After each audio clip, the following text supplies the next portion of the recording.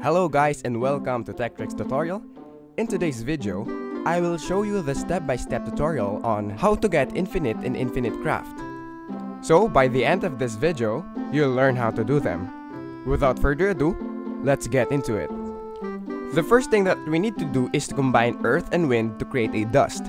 After creating dust, combine it with another dust to create sand, and then combine sand with fire to create a glass. After that, combine wind and fire to create a smoke, then combine the smoke with glass to create a mirror. After that, combine two earth to create mountain, and then combine the mountain with mirror to create an echo. After that, combine two fire to create a volcano, and then two water create a lake. Now combine volcano and lake to create an island. Then combine island and water to create a ship. After that, combine it with lake to create a pirate. And then combine water and earth to create a plant.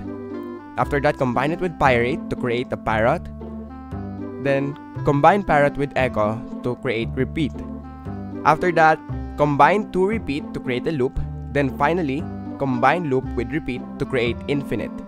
And that is basically it for this video. Thank you guys for watching Tech Tricks tutorial. I hope you learned something and please don't forget to like and subscribe. Have a great day everyone.